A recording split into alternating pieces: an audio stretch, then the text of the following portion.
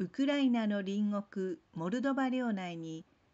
独立を宣言しながら国際的には承認されていない小国ドニエストルがある。山形国際ドキュメンタリー映画祭2019に出品されたトランスニストラはこの地域が舞台だ。17歳の少女タニアと5人の少年は川辺でたむろしたりビルの廃墟で騒いだりし恋と友情の間を行き来しながら過ごす。移ろいゆく季節の中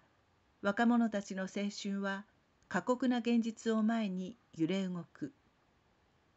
生きるためには出稼ぎか兵士になるかさもなくば犯罪者になるしかなかった。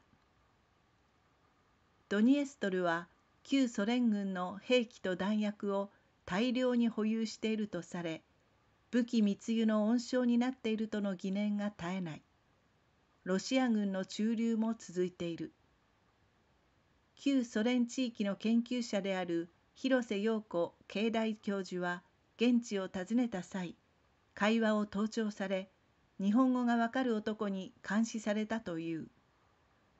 ロシアは旧ソ連諸国に点在する未承認国家を支援し外交カードとして用いてきた。